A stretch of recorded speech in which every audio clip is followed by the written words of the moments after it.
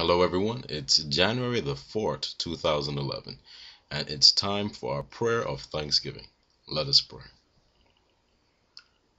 Heavenly Father, we thank you for this day. We thank you for life, for strength, for health.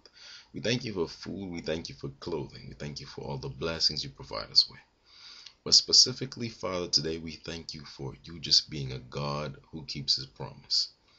We cannot comprehend how you are so faithful at keeping your promises. No human being is truly a man of his word. We do our best, but human error at some point will come in the way. Certain schedules will conflict, or just health will fail us, and we will not be able to keep our promise. Memory might fail us as well. But you are a God that, regardless if the world stood against you, if you made a promise, nothing stands in your way. You have promised us salvation. You have promised us uh, deliverance. You promised us glorification. You promised to make us holy. You promised to abide with us. You promised us the Holy Spirit.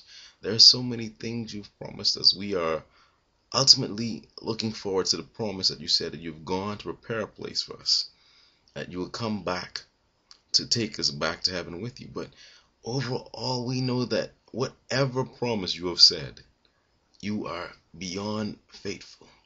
That the moment you said it, it was guaranteed. We do not have to hope, uh, wonder if your promise is going to come to fruition. It is your promises cannot fail.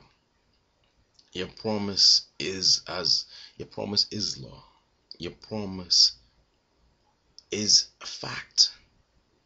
Father, we simply say thank you. All we can say is thank you. Our very existence is fully reliant on just your promises. The breath we breathe depends on your promise. Every move we make, every word we say, our very thoughts depend fully on you keeping your promise to us. And all we can say is thank you for we even know that truthfully we do not deserve you to keep your promise. We cannot earn your faithfulness to us.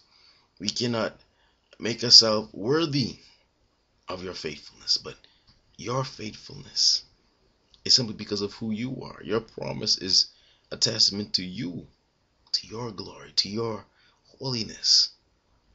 Uh, things we can esteem to be holy, things we do not even comprehend, we do not really, or we cannot even fathom fully. Father, we just, we could go on forever saying thank you for your promises in your word. But Father, we just must say thank you. Words will not be able, or words will not be sufficient to describe your faithfulness to us, your promises that you've kept for us. But simply we must say thank you Thank you. Thank you. This we pray. In Jesus' name. Amen.